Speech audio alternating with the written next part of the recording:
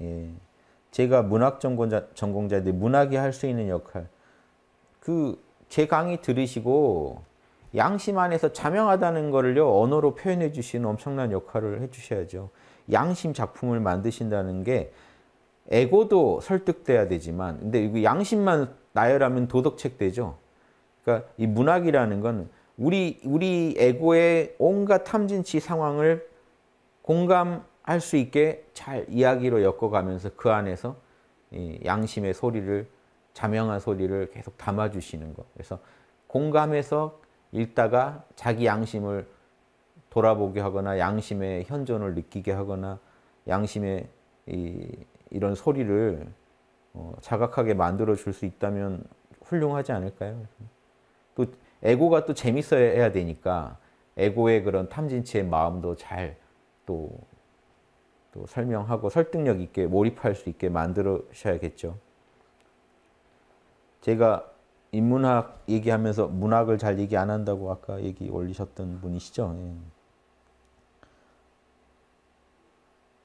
그런 차원에서 접근하시면 좋지 않을까 합니다. 최근에 올린 강의도 참고해 보시고요. 양심으로 예술가적 감성 관리하기. 근데 기본적으로 그래요. 제가 막 예술에 대해서 뭐라고 떠드는 것도 그렇고 저는 그래요. 우리가 그림 하나 그려도 점 하나 찍어도 뭐 선 하나 그어도 자기 마음에 자명하니까 그렇게 한 거거든요. 또 해놓고 자명하니까 작품이다라고 다른 사람의 에고에도 이게 자명한 느낌, 아름다움이라는 인식을 하게 만들 거다. 예. 그래서 철학에서는 십이지심, 옳고 그름을 가르는 마음이 중요하듯이 이 옳고 그름을 감성적으로 표현하면 미추지심이거든요. 아름답다, 추하다. 그래서 인간의 그 아름다움에 대한 자명한 느낌을 자극해서 이 진리를 자각하게 해주는 게 예술의 좀 고차원적인 역할이겠죠.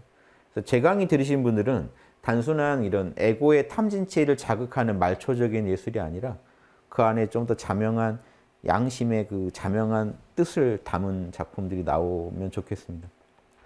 큰 기대하고 있습니다. 저도 그 많은 문학가들이 제 강의 듣고 조금이라도 영감을 받아서 도덕책을 쓰시라는 게 아니라 음, 양심의 양심이 좋아할 에고도 좋아하고 양심도 좋아할 그런 작품들을 남기시면 어떨까.